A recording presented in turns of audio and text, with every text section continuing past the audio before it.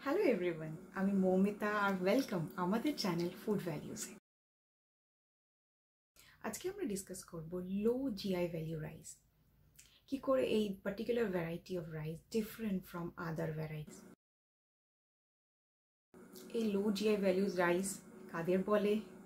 তারা কীভাবে অন্য ফর্ম অফ রাইসের থেকে different low GI value rice actually আমাদের ব্লাড সুগার লেভেলের স্পাইকটাকে অনেকটা কমিয়ে দেবে এবং সেটা গ্রোথটাকে স্লো রাখবে।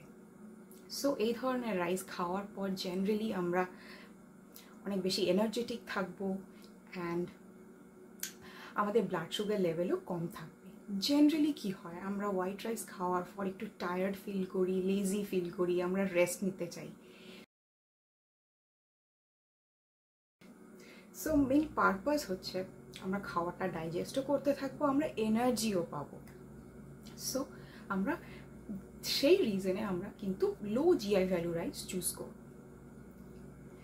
Low GI value rice actually দু রকমের হয় পার বয়েলড রাইস আর brown rice parboiled rice হচ্ছে সেই পার্টিকুলার ভ্যারাইটি অফ রাইস যাদের ডিফারেন্টভাবে প্রিপেয়ার করা হয় once they are grown in the field parboiled রাইসকে ফার্স্টে সোক করা হয়, তাদের স্টিম করা হয়, তারপর তাদের ড্রাই করা হয়।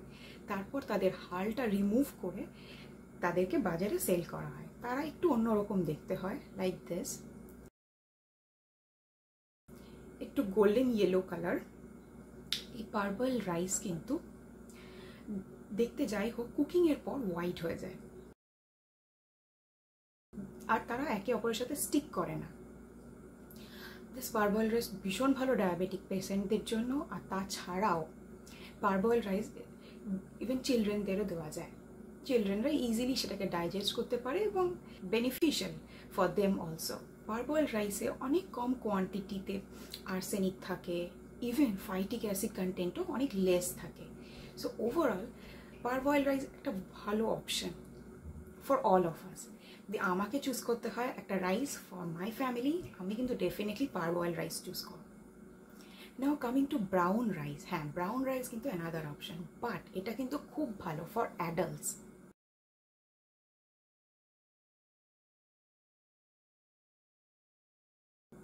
কারণ এটাতে হাই কন্টেন্ট অফ ফাইবার থাকে, নানা রকম ভাইটামিনস মিনারেলস থাকে। বাট চিলড্রেনরা কিন্তু এটাকে পুরোপুরি ডাইজেস্ট করতে পারে না। সো এটাকে চিলড্রেনদের জন্য অ্যাভয়েড করাই ভালো। নাও টু মেন ফিয়ার যেটা আমাদের আসে যখনই আমরা ভাবি ব্রাউন রাইসের কথা, সেটা হচ্ছে ফাইটিক অ্যাসিড কন্টেন্ট আর আর্সেনিক লেভেল এই দুটো জিনিসই কিন্তু হাই ব্রাউন রাইসে সো আমরা ফাইটিক অ্যাসিড কন্টেন্টটাকে লো করার চেষ্টা করব বিফোর আমরা ওটাকে খাচ্ছি। ফাইটিক অ্যাসিড কিন্তু একটা অ্যান্টি নিউট্রিশনাল ফ্যাট সেটা যখন আমাদের বডিতে আসে প্রিভেন্ট করে absorption of beneficial minerals so আমরা চেষ্টা করব ফাইটিক অ্যাসিড যেন আমরা কনজিউম না করি। তার জন্য আমাদের কেয়ারফুল থাকে সো ফার্স্টে আমরা কি করব? ব্রাউন রাইসটাকে সোক করে রাখব অ্যাটলিস্ট টোয়েন্টি ফোর আওয়ার্স আরও বেশি টাইম সোক করতে পারলে আরও ভালো। পারপাস কি? পারপাস হচ্ছে সোকিংয়ের সময় ব্রাউন রাইস একটু জার্মিনেট করবে। সেই জার্মিনেশনের সময় ফাইটিক অ্যাসিডটা কনভার্ট হয়ে যাবে অন্য ফর্মে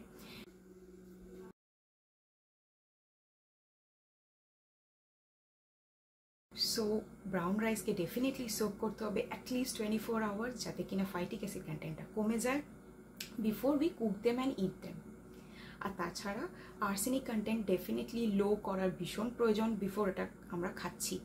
তার জন্য আপনারা আমাদের প্রিভিয়াস ভিডিওটা চেক করতে পারেন, সেখানে আমরা ডিসকাস করেছি কীভাবে আমরা arsenic free rice cook so arsenic free rice cook করা একটু ডিফারেন্ট বাট ভীষণ simple just like normal cooking method but আমরা জলটা ফেলে দেব after certain period of time so simply আমরা আর্সেনিক ফ্রি রাইস যেরকমভাবে কুক করি সেটা করব so overall there are two types of low GI value rice. One is brown rice, another is parboiled rice. So এই দুটো rice খেলে কিন্তু definitely আমরা মোর এনার্জেটিক থাকব অ্যান্ড আমাদের, আমরা কিন্তু সেফ থাকব ফ্রম ডায়াবেটিস সো আমাদের ভিডিওটা আজকে এই অবধি।